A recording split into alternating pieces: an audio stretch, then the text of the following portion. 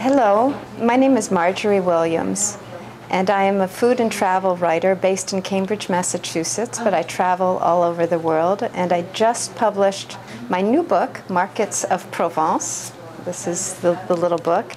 And I had the great opportunity today to watch Chef Grayon here at Restaurant La Voile in Brookline, Massachusetts, prepare ratatouille, which is a very classic dish of Provence, but he has prepared it in the most innovative way. So it's such a, he's created such a beautiful, beautiful and tasty plate.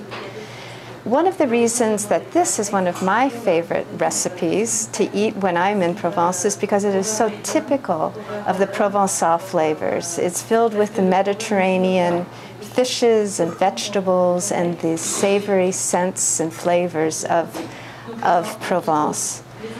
Now, a beauty of this recipe is that all of the ingredients that you see here on this plate that the chef worked with, all of them are available at the markets in Provence.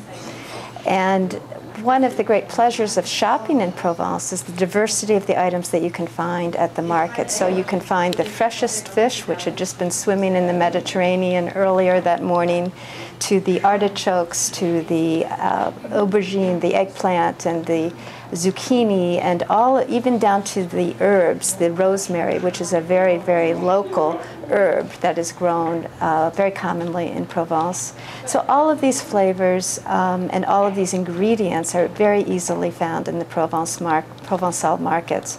And of course, one of the bedrock items of any good Provençal recipe is garlic, which of course the chef used very deliberately and very well in this recipe, as well as the olive oil.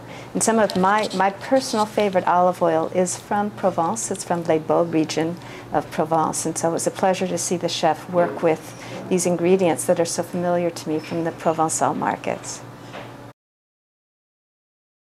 when I travel, I'm interested in food and I'm interested in local culture, and that's true wherever I go.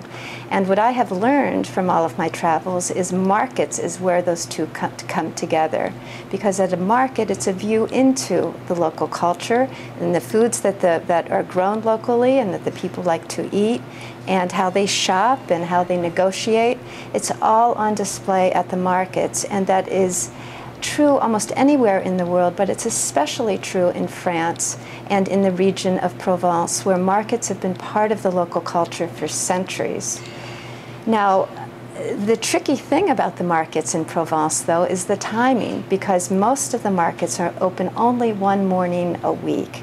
And so if you show up at the wrong, the wrong day or the wrong hour of the right day, you're very prone to miss the markets.